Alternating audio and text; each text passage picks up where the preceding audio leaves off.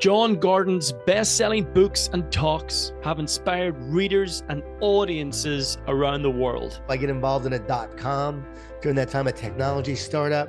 think I'm gonna make my my fortune. I have like 100,000 shares and we collapse. The company crumbles. His principles have been put to the test by numerous Fortune 500 companies, professional and college sports teams, school districts, hospitals, and nonprofits. I had a woman come see me speak, and she said that uh, I would never make it. She told a friend that I should just give up and quit. Jon is the author of 26 books, including 12 best sellers. Getting on the Today Show was a, was a big boost for me, but then everything dried up.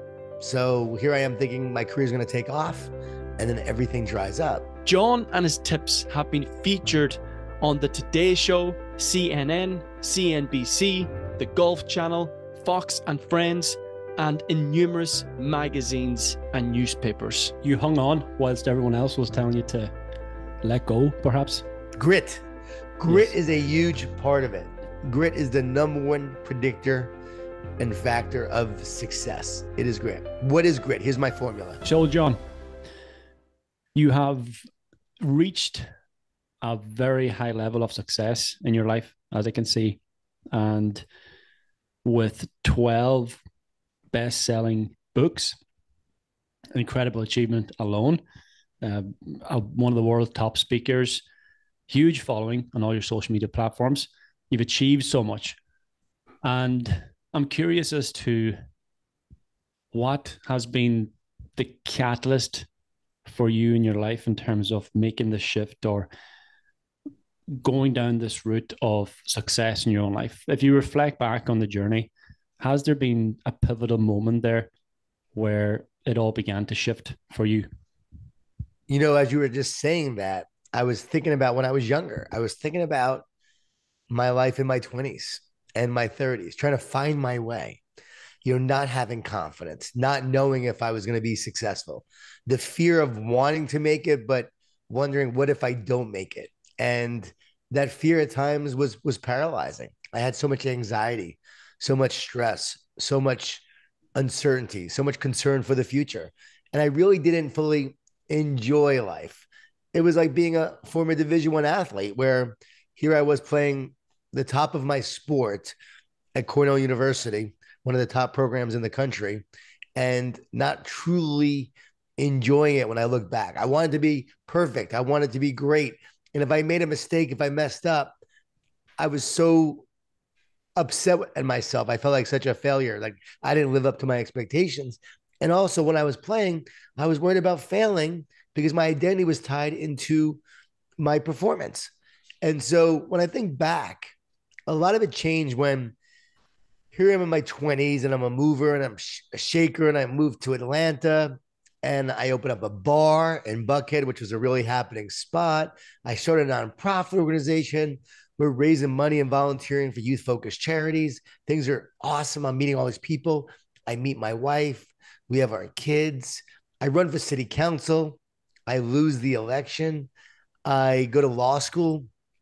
I quit after a year and a half. Like, this is not for me, but the restaurant business is going well. I put some investors together. I introduce people. I get involved in a dot com during that time, a technology startup. I think I'm going to make my my fortune. I have like hundred thousand shares, and we collapse. The company crumbles. You know, so many dot coms failed. I was one of the last to get fired, but I remember getting fired that day, and I was like 30, 31 years old, and I literally was so upset, so scared that I thought my my life was over. Like, how am I going to pay the bills? How am I going to provide for my family? I have these two little kids. But the pivotal moment came when I was so negative to my wife and blaming her for why my life was not turning out the way I wanted to. Blaming, blaming, blaming, not owning, but blaming. And in that moment, when she threatened to leave me, I knew I needed to change. And that began this journey of working to become a more positive person. And I remember saying, like, what am I born to do? Why am I here? And writing and speaking came to me okay, I can't write and speak right away. I have to make money first. I decided to get back into the restaurant business. Second, mortgaged our home, $20,000 in credit cards and a lot of prayer. and a lot of faith as we were opening up this place. Because if it doesn't go well, like we're done. Like we are completely done, bankrupt, done, lose our house, lose everything. And that was when, in many ways, my faith was born because I had no faith. I at the time, I mean, I, I had to have faith. You don't know God is all you need until God is all you got. and I was in the pit. And they say there are no atheists in foxholes. Well, there are no atheists when you are literally about to lose everything that you have. And so that was a, really pivotal moment for me in my life of knowing, okay, I've got to make this work. And I said, I'll never forget when I lost my job, I said, I will never work for someone again. I will never put my life and my family's future in the hands of someone else. Somehow, some way, I've got to find a way to make this work. And that began this journey of opening the restaurant, researching positivity, positive psychology. This was during the emerging field of positive psychology. Now we're at 2001, 2002. And I'm I'm learning about this. I'm I'm writing about it. I start these tips on ways I could be more positive. I'm sharing with others, and people are starting to read my stuff, and and that's how this journey began. Before there were podcasts, before there were blogs, before there were any of this, I started a newsletter, a weekly positive tip, and I was sending that newsletter out. Five subscribers at the time. My mother, my brother, best friend from college. You know, now I have like 400,000 subscribers to my to my weekly, you know, positive tip, but at the time it was 5. And it was just about doing the work, sharing the message, wanting to make a difference, wanting to be more positive myself. Didn't have all the plans, didn't have all the answers, but I knew I had a vision and a mission to encourage and inspire as many people as possible, one person at a time. You see, I was so focused on myself that once I started to focus on others, in many ways, it like took the pressure off me. It was no longer about me being successful how can I help others? How can I make a difference in the lives of others? I was miserable, miserable being a narcissist. I was miserable focusing on myself. I was miserable not living mission and purpose. But once I had a mission and purpose, once I focused on making a difference and serving others, everything changed. So that was a huge pivotal moment for me and my life in so many ways. And it's why I do what I do today. It's who I am today. It's why I've written out 26 books and 13 bestsellers. We've added one more.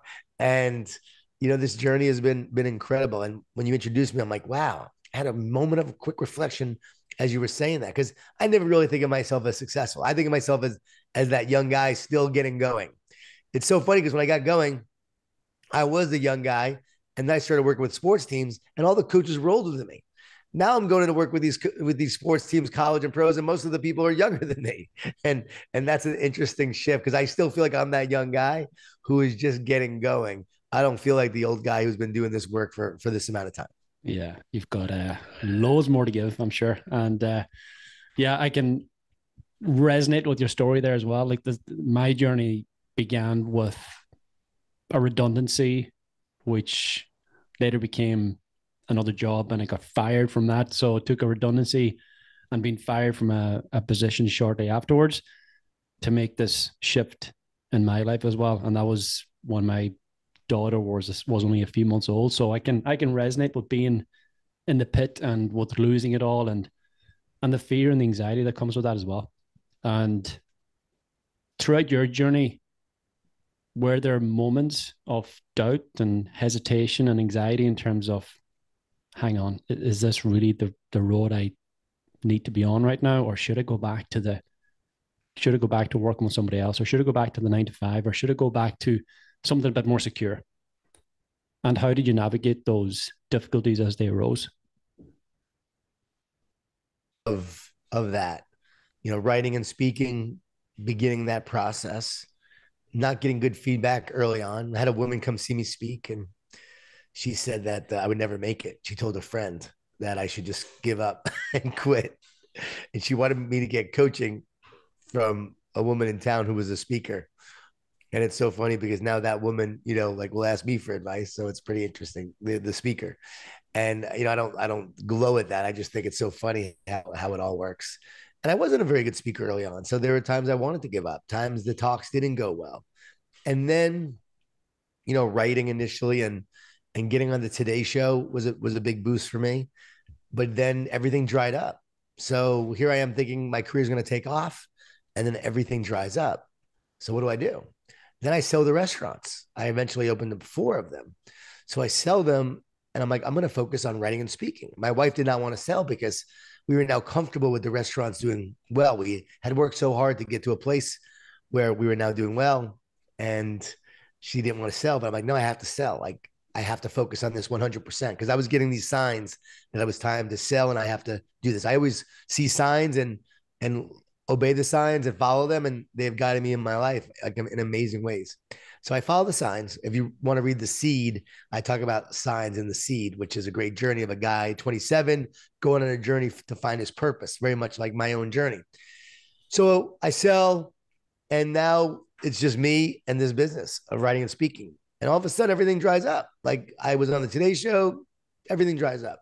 So I had moments of doubt. Should I should I get a job? The money's running out of the account right now. How long will this last? Maybe I should do something else. And it was on this walk where I was having all these doubts where the idea for the energy bus came to me. And here I am walking and praying, fearful praying, not like hopeful praying, but fearful praying. And the energy bus, boom, just comes. The idea. And I went back, and I started writing this book. And I wrote in three and a half weeks of pure inspiration. And it gets rejected by 30 publishers. So now I have more doubts, you know, more fear. Is this going to happen? Like, like I have this dream, I have this book that I think can make a difference. And I'm being told no, it's not good enough. We don't believe in it. Your future is not going to happen. Your dream is, is not going to be realized. And so there were many moments of doubt and fear and uncertainty and I look back on that, I was like, wow, I sat in that uncertainty and in that fear, but just kept hoping, kept believing. That's why I'm such a big believer in positivity and optimism because I experienced it firsthand. And I'm not naturally positive. I'm like a pessimistic optimist. I go negative and then I have to go positive. Then I find the eternal hope. And so, yes, many moments of doubt. And I'll never forget John Wiley and Sons agreeing to publish this book. And saying, okay, let's let's let's let's do this. Let's get it out there. I was so excited and comes out, bookstores wouldn't carry it. More fear, more doubt. All right, maybe this isn't going to work. And then took five years for, for it to be a bestseller. But after a few years of getting out there and started come back from that, and all these things, all these things started happening. Sometimes you're waiting on God, but God's waiting on you to get out there and do the work. I had to go do the work. I had to go, you know, put myself out there. And I can trace back a lot of things to that one tour that wasn't successful, but yet planted seeds and led to engagements here, engagements there, engagements there. And here we are years later. And I think I did like 100 engagements, you know, this year. I spoke to NFL teams, college teams, NBA teams, the top companies in the world, amazing school districts, you name it. I've been busier than ever this year. Uh, books have sold more than ever this year. And so here we are years later, and I get to do this work. I have the gift and the joy and the purpose of doing this work. And so, yeah, a lot of doubt, a lot of fear. But on the other side of that, on the other side of that, that is the success that you want, the dream that you want to have. And I truly believe not everyone could achieve my dream, but I believe everyone could achieve their dream. Mm-hmm. You you hung on whilst everyone else was telling you to let go, perhaps. Grit. Grit yes. is a huge part of it. Grit is the number one predictor and factor of success. It is grit. What is grit? Here's my formula it is inspired by vision and purpose. Where do you want to go? And why do you want to go there? You need a vision and you need purpose because along the way, there'll be times you want to give up. Obstacles will come your way. You have to have that vision and purpose, which are greater than your challenges and are greater than your obstacles. Vision and purpose. It is fueled by optimism and belief. Got to have that belief. Got to have that optimism that tomorrow's going to be better than today. That somehow, some way, you're going to find a way. Positive leaders, positive teams find a way forward. Belief is essential. It is powered by faith and hope. Faith and hope, perspective. How we see the world determines the world that we see. And what do fear and faith have in common? They both believe in a future that hasn't happened yet. So fear believes in a negative future. Faith believes in a positive future. If neither has happened yet, why wouldn't we choose to believe in the positive future? We have faith and hope. When we're going through that challenge, is it an opportunity or a challenge? I see the opportunity. I see what we can learn from this. How can we grow from this? How can we get better because of this? if you have optimism and you have belief and you have faith and you have hope, you keep going. You don't give up. People say hope's not a strategy. Well, yes, it is. It's a great strategy because you have to hope to take one more step towards tomorrow. So you have to take that step. Now you have to take action, but hope inspires you to take action. So it's powered by faith and hope, driven by love. If you don't love it, you'll never be great at it. So if your listeners are in their 20s, 30s, and 40s, what do you truly love to do? What do you want to be great at? Great at. What will you do on a daily basis each day that that even though it's hard, you will still love doing it. You will still love working at it, and you truly want to build something. I just had Tom Patterson on my podcast, and Tom Patterson is the founder of Tommy John, Tommy John Underwear, Tommy John Clothing. Like built the business from nothing, like nothing, from a prototype, just like Kevin Plank and Under Armour. And from the very beginning, just had this this belief and this love that this is what he was doing and didn't want to do anything else and did it nonstop all the time. It was his passion, it was his drive, it was everything. And that love drives you to be great. So, love is what drives grit. We often think of love as like this weak energy. No, love is what drives grit. You love your family, you're not going to quit on them. You love your team, you're not going to quit on them. You love what you do, you're going to keep working on it to master your craft. So, so love is the ultimate driver of grit. And then it's revived by resilience, kept alive by stubbornness. Stubbornness is a good trade for grit resilience is essential. And if we're honest, includes a little fear of failure. You got to have that little fear. The big fear paralyzes. The little fear says, What happens if I don't make it? What happens if I don't do this? So you work a little harder. You give a little more because that little fear. And if we're honest, includes a little fear of failure and desire to prove oneself. So there is that desire to prove oneself. The great ones all still want to prove themselves. Tom Brady still wants to prove himself. LeBron James still wants to prove himself. I'm sure you take me to Ireland and we see the greatest rugby players, right? They still want to prove themselves. So you still want to prove yourself. And to this day, I come on your podcast. I want to make a difference. I'm driven by that vision and purpose. I want to make an impact. But at the same time, there's still a part of me that says, I want to do a great job. I, want to make a difference. I want to impact people. I don't want to, I, I don't want, I don't want to crap in the bed, right? You know, I, I want to show up and, and, and make an impact. This might be the first time someone is hearing me right? They've never heard me before. They're hearing me for the first time. And I've got to bring great energy, great ideas, and something that will benefit them. Otherwise, I'm wasting their time. So I think there's a level of, of, of care and desire to prove oneself that drives you. Mm-hmm. Unfortunately, though, men will only make a change when they've lost everything, when they've reached the bottom of the pit, don't they? Sometimes, I mean, too often we wait till we hit the bottom. Yeah. But we really don't even know what rock bottom is a lot of times because we think it's the bottom, but it could get worse. So we get hit. And it's in those moments when the pain is so great, it causes us to change. You're right. Too often we wait. But for me, like when my wife gave me that ultimatum, there was a willingness to change. And I always say, you got to be willing. You got to be willing to look in the mirror and say, can I do better? Can I be a better man? Can I be a better husband? Can I be better at work? Can I be better in my career? Can I give more? Am I doing all that I can do? And so often we're not. So you got to be honest with yourself. And if you can do more, then give more. If you want to be more, then do more. And so it's really about not waiting for the difficult moments, but decide to be your best today. Right. That's why I write the books I write. I want to inspire people where they are to get better right now, to not wait to pursue excellence. I wrote training camp, which is what the best do better than anyone else. This is my shirt, training camp, right? So it's it's inspired by an undrafted rookie trying to make it in the NFL and he gets injured, meets a special coach who takes him under his wing and teaches him the winning habits that separate the best from the rest. It's about excellence, pursuing excellence. Like, why do we wait for pain? No, pursue excellence. Pursue being your best. Pursue all that you're meant to be and don't settle for average. But you got to win the battle of the mind to do that. That's why I share 20 ways to be mentally tough in that book. You have to win the battle of the mind. I think so often men, we're losing the battle because we're losing the battle of our mind. And that's where we're struggling the most right now. And so what, what I'm feeling called to do and what I'm more passionate than ever is, and that's why I agreed to do this podcast, is to speak to men, to remind them of who they are, to remind them of their power and their strength, and don't wait for your life to implode or to be destroyed before you decide to put it back together. Yeah. So why are so many men struggling in today's world? Do you think is there a lack of self belief? Is there too much comfort? Is there uh, just there's that unwillingness there to make that move because of the fear of failing? I think in many ways, men are being attacked and bombarded in society, and they're being attacked in the place of their identity. See, you will always be attacked in the place of your identity when you're striving to be great and striving to be your best. It's like you're performing or you're working and you'll be attacked like, oh, you're not man enough. You didn't make an, you don't make enough money. You're not successful enough.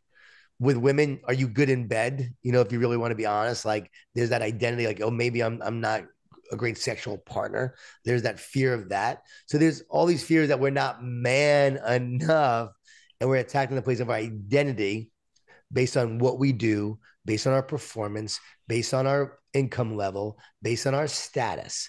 And so we'll always be attacked in the place of our identity. Now, this is not an evolutionary trait. You got to understand, people will often say we're negative because we have this survival mechanism where we're racing and running from tigers. And so it's taught us to be negative for survival. Identity has nothing to do with survival, identity is purely spiritual. And at the deep spiritual level, there is an evil that's always trying to separate you and keep you from your destiny. And that is truth. I wrote a book, The Garden, on this. That is truth. There is an evil, and look in the world and you'll see evil. And it's what is Harry Potter about? Good versus what? Evil. What is Black Panther about? Good versus evil. evil. Superman, good versus evil. Every major epic story, Star Wars, good versus evil. Every major story is about the hero having to battle evil, evil to overcome, to be who they're meant to be in order to save others and save the world. Well, why is that? Because that's the story within our universe. That's what resonates in our soul. So once you understand it's a battle of good versus evil, guess what? There is evil trying to separate you from yourself, trying to separate you from others, isolation, trying to separate you spiritually from the creator of the universe, from God, and then attack you in your identity uh, that, oh, you're not special. You're not here to do great things. You're not here to be someone of value. You're not here to make a difference. You are weak. And all these voices come in that say you're weak, you're not enough, you're not strong enough, you're not powerful enough, you're not successful enough. And they attack you in the place of your identity. I challenge every man who's struggling right now to be honest and say, is this true? Is this your reality? I guarantee you'd say yes. I talked to many men, private conversations, where this is the reality. They're being attacked in the place of their identity. They just didn't know what was happening. They didn't know where it was coming from. So they think it's their own mind. We're taught our negative thoughts come from us. But when I speak to professional athletes or, or, or college athletes, I always ask them this question Do your negative thoughts come from you? And they're like, Yeah, of course they're in my head. But here's the next question If you believe your negative thoughts come from you, who would ever choose to have a negative thought? Would you ever choose a negative thought? Would you ever choose a thought that says you're not enough? You're not going to make it? Would you ever choose a thought that sabotaged you? Of course you wouldn't. You are not choosing your thoughts, they're coming in. They come from a spiritual place. I've talked to neuroscientists. No one has ever found a thought inside of their brain. Thoughts come from consciousness. When you're dreaming, having a nightmare, are you choosing those thoughts? No. They're always coming in. So negative thoughts come in from consciousness, the internet cloud of consciousness. The brain is the hardware. It's where activation happens. I'm not sure how it all works, but I have an understanding, a very good download of how it works. The brain is where the again hardware activation. So right now we're making sense of reality and and thoughts are coming in. And when they come in, they often come in the form of lies that tell you things about yourself and your future that just aren't true and attack you in the place of your identity. See, when I talk to men, I said, You want to be great? Of course, I want to be great. Why do you want to be great? Like, why? Like, why does everyone want to be great? Think about that. Because deep down, we know there's greatness within us. And we were never meant to be average. We were created by a creator to want to do great things, to be great, because deep down we were created with that DNA within us, spiritual DNA to do great things. We just have these voices that say, You're not great. You're not enough. You're not going to make it. You're not going to be successful. And that's what I had to battle for years. And for years, I lost the battle in my mind. That's how I know it so well. Lost the battle. But once you understand how the battle is being waged, and I'm not choosing the initial negative thoughts, you realize I don't have to believe the lies. I got to speak truth to the lies. I got to speak words of encouragement. And this is what the garden is all about. It's also what my next book is all about. The same message I shared all throughout training camps this August and never had a bigger response from from professional college athletes than I had this summer talk wanting to talk about this because I go right to the heart of what's really happening to men, to people in general, like we're talking about right now. So once you understand how the battle is being waged, five D's, doubt, distortion, lies, negative thoughts, discouragement. We don't give up because it's hard. We give up because we get discouraged. Again, we get defeated, we get discouraged, we get down. It's not working out. My plan's not happening. I'm not living the life I, I want to live. I'm not realizing my potential. I'm falling short. I'm not enough. All that discouragement, distractions. Fourth D, distractions are the enemy of greatness. Media, social media, porn is a distraction. All sorts of distractions that keep you from what matters most and keep you from being your best. And then finally, divide or division. And the word anxious literally means divided at its Greek root word. Anxious means divided. Think about that. So negative thoughts divide you, they separate you, they weaken you. And what I say, there's an evil that wants to divide you and separate you and keep you from your destiny. Isn't that weird that anxious means divided? Do you think I just made this up myself? No, this is how it all works. And so the negative thoughts divide you and separate you and attack you in the place of your identity. And too often, men then give up or they take a lesser role and they don't rise up to be who they are called and meant to be. And that's why they get defeated and they lose the battle. And that's the whole goal of evil to make people and men, women as well, but men, we're talking about men here, lose the battle of your mind. And then you lose the battle of your heart and your soul. And I see too many men being defeated. And my goal is to help men and women win the battle and come from a place of victory. And the key is you got to understand that you're not fighting from a place for victory, you're fighting from a place from victory. And what does that mean? When you have faith, when you trust, when you understand how all this works, you realize the battle's already been won. And your job is just to know that you have you have already won the battle. So come from that place of strength and unity and power, knowing that the battle's already been won. But your role is to win the battle each day from a battle that's already been won because it's an ongoing battle of, in this reality that we're living. The spiritual level, I'm talking about the battle's already been won. At this level, it seems like it's playing out every single day. And so instead of doubt, you trust. Instead of distortion, you speak truth to the lies. And here's the best advice I ever heard, Gavin. Dr. James Gills, only person on the planet to complete six double Ironman triathlons. That's a double Ironman, which means you do an Ironman, a day later do another one and the last time he did it, he was 59 years old. He was asked how he did it. He said, I've learned to talk to myself instead of listen to myself. If I listen, I hear the fear, the negativity, the doubt, all the reasons why I can't finish this race. But if I talk to myself, I can feed myself with the words and the encouragement that I need to keep on moving forward. That's key. Talk to yourself.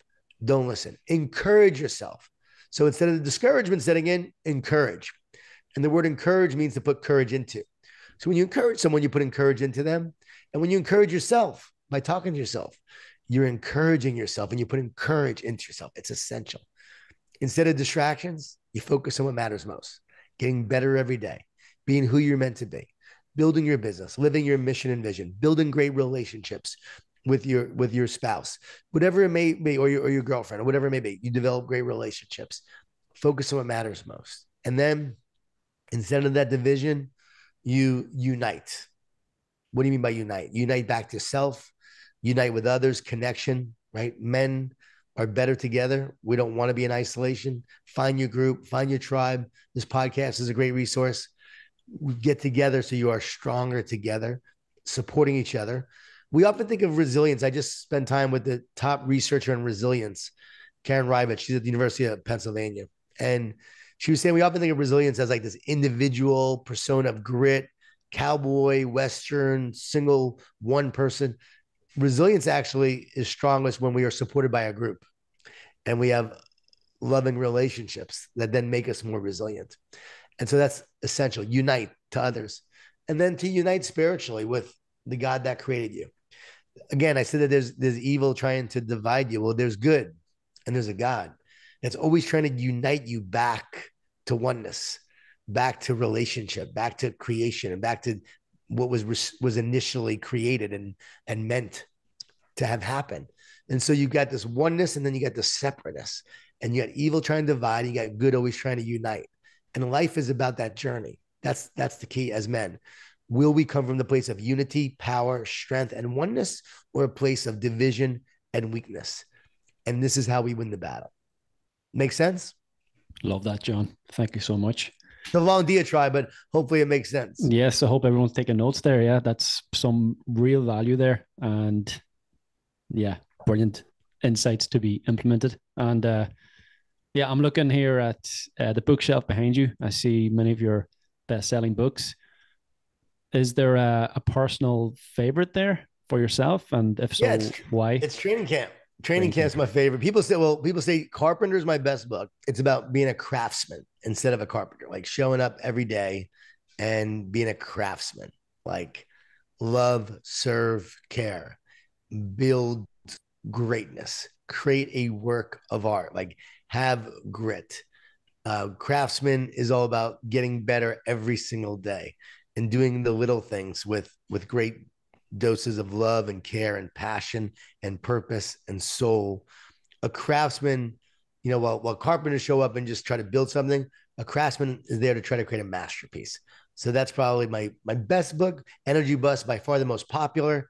Sold several million copies now. So you know, from from from idea to writing it to all those rejections to finally getting it in bookstores to now selling, I think, 3 million copies worldwide. It's been an amazing journey. That book has changed my life. So, really thankful I wrote it. And a lot of people really benefit from that because that's all about positivity and dealing with the negativity and the energy vampires in the world that want to sabotage you, that want to suck the life right out of you. And Gandhi said, I will not let anyone walk through my mind with their dirty feet. So, it's about being more positive than the negativity you face.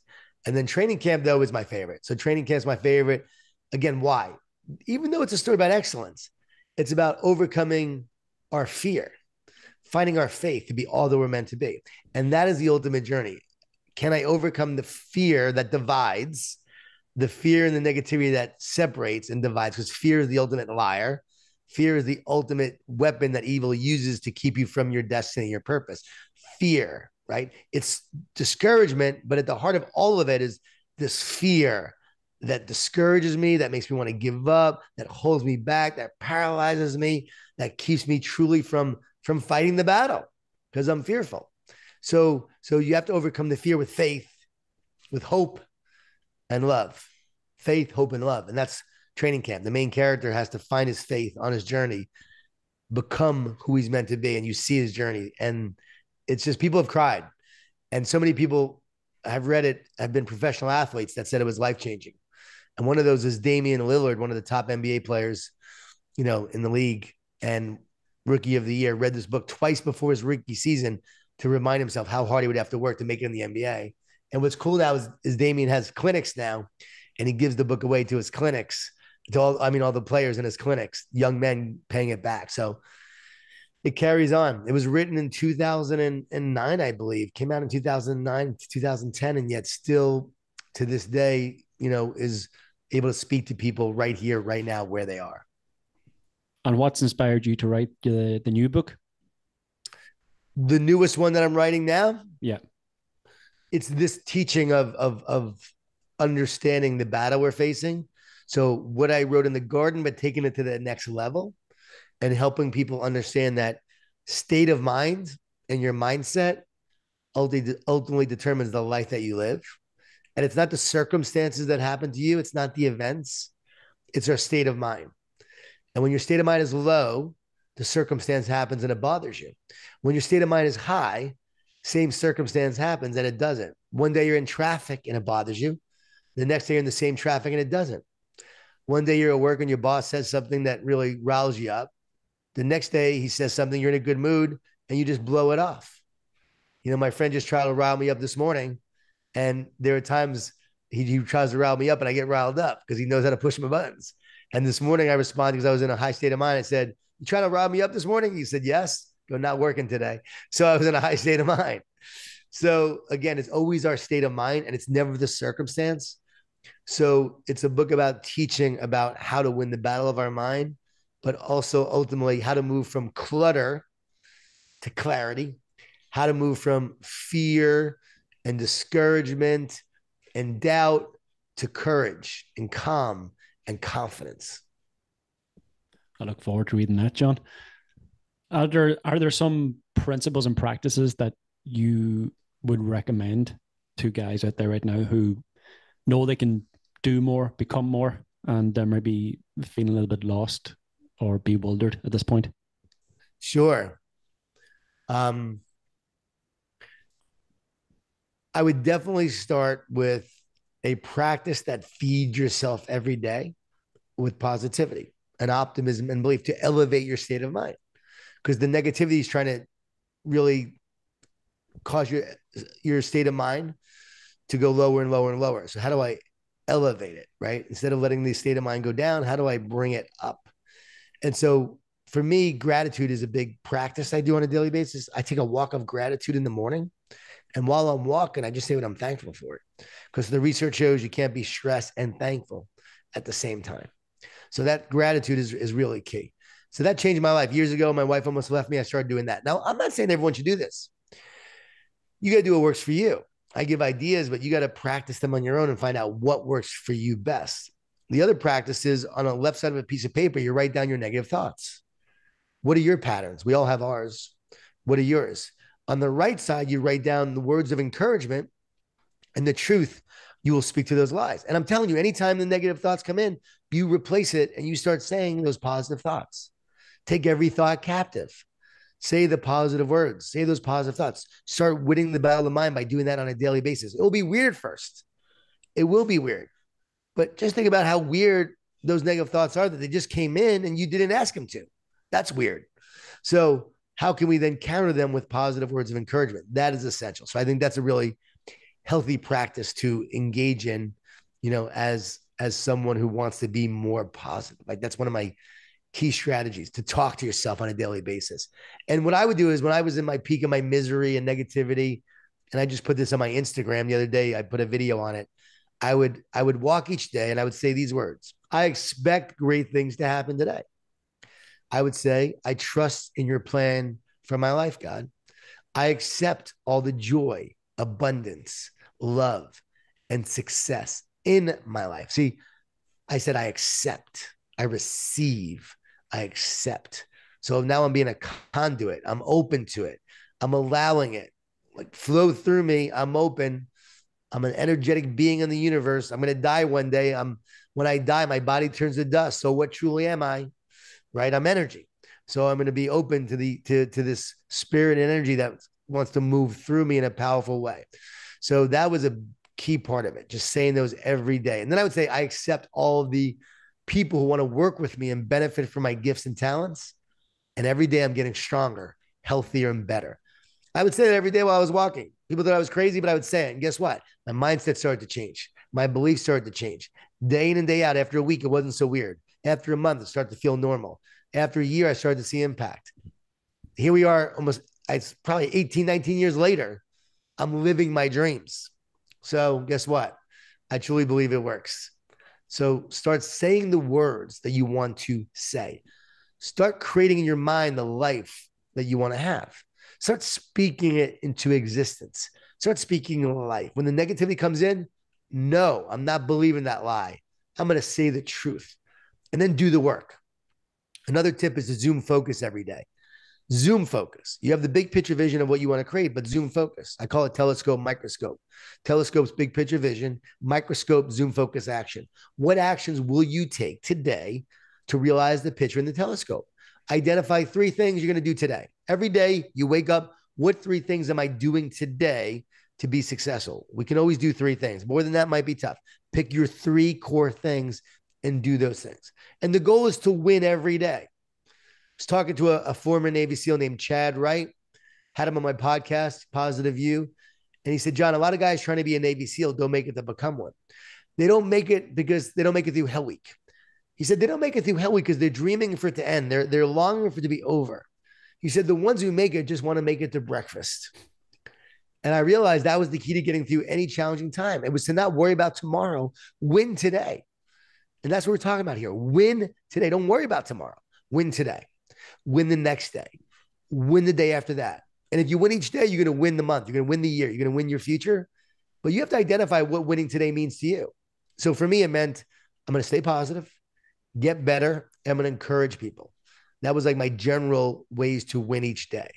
But then each day I'm Zoom focusing on the specific things I know I need to do today to be successful. When I write a book, I got to write every December and I got to sit down and I got to start right away when I get up. I can't get on email, social media. The minute I do, I can't write. So I've got to tune all that out and write first. Do first things first. And then once you start doing it, and then you write and you get a couple pages, four or five pages, I go take a walk. And then I go take a walk. I get more ideas. I come back, I write some more, and then I'm done. Done for the day. Then I get my phone out. Then I get everything out and I can do whatever I want. At night before I go to bed, I have to read what I wrote. So it stays fresh. And then I edit it. I write some new ideas. I'll write some notes down. Oh, tomorrow start writing on this, add this, do this, you know, tell this story. And then I I start the process again the next day. Within a few weeks, three, four weeks, I have a book written. And that's by being disciplined, by doing it every day. You got to decide what is it you want to create, what is it you want to build, and you got to do it every day while you're tuning out all the negative voices telling you not to do it. That's the key. Well, I don't know about the listeners, but I'm feeling super psyched after hearing all that, Jon. So thank you so much for your time, energy, inspiration, and incredible insights and the work you do, man. So for all of the guys listening to the podcast here, where is the best place to find you at and to reach out, get in touch, or hopefully grab one of your books or a few of them whilst they're at it? Web, website's jongordon.com, J O N Gordon.com. If you go there, you'll see my seven step plan for positivity. It's a seven step positive you plan. Just download it's free. Start with that. I'm not asking you to buy a book. Start with that plan, do the plan, and you'll start to see impact. So that's my hope. Go to jongordon.com, put in your email, you'll get the plan. It will allow us to stay in touch. I write a weekly positive tip. So I encourage people every, you know, every week with this positive tip. I also have Instagram and Twitter. So I'm always posting encouragement, ideas, strategies on Instagram and Twitter. Jon Gordon 11, J O N. Gordon 11 is my Instagram and Twitter. And then also I'm on LinkedIn as well if people want to find me there from, from a business standpoint. I give a lot of talks on culture, leadership, teamwork. That's, you know, my main core of what I do. But ultimately, I also am here to inspire and empower people individually with the right mindset because you can't be a positive leader if you don't have the right positive mindset. Can't be a great team member if you don't have the right mindset. Mindset begins the process of of everything, and and that's what I'm really big on. Oh, and one final thing, I have a daily positive uh, website, dailypositive.com. Daily positive, and you can sign up for our daily quote. So every day we send a new positive quote to keep you encouraged. So you know, really, the whole goal is to encourage people, inspire people, and and make a difference. And I love doing it. That's my mission. I'll do it to the day I die. Trust me, I'm not doing it for the money. I made more than I ever thought I would ever make selling all these books, thank God, and giving all these talks over the years. And I'm very thankful. I give a lot away to charity as well, a lot away to my church, a lot away to charities. But at the same time, I continue to do it because it's really about one person at a time. I know ultimately, you know, we're all going to die right? We're all going to die. My both my parents are gone. I lost my parents. So what matters most? What matters most? Right? A life touches a life that touches a life, impacting someone's life and making a difference so that they're better men, in this case, for their children, you know, for their girlfriends, for their future wives, for their wives, and so that they can be all that they're meant to be. And ultimately, that's what it's all about. So my hope is you listen to this and you decide today to say I'm going to be all that I meant I'm meant to be, and I'm going to face obstacles, I'm going to face struggles, but I'm going to have the grit each day to win today and win the next day. I'm going to win the battle of my mind, and then I'm going to win the battle for the hearts and the minds of those I love most. Because guess what? It is a battle. There's evil that wants to try to bring you down, but good truly truly wins in the end, and good is always looking for good men who are going to fight the battle, and that's what we must do. So God bless you guys, and thanks for listening And Gavin, thanks for having me on. This was one of my favorite podcasts. For some reason, the spirit was flowing, and I wasn't planning on saying these things, but I really believe that obviously there were men that were meant to hear it. And I, I hope it resonated. If it does, and you hear this, please reach out to me. Let me know you heard this and you heard me on with Gavin, and let me know how this impacted you because I do love hearing from people. It does encourage me. So we all need encouragement, and I need it as well. Thank you so much, guys. Brilliant. Thank you, Jon. Let's get after it, man.